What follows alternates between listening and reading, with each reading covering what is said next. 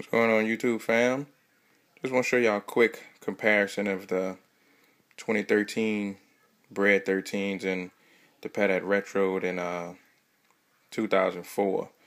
You can see the huge difference. You got the 3M on the 04 pair and you don't have the 3M on the Patek drop this year. For $170 I think Nike and Jordan Brand could have threw that 3M. Y'all go ahead and tell me what y'all think. Leave me a comment down at the bottom. Peace.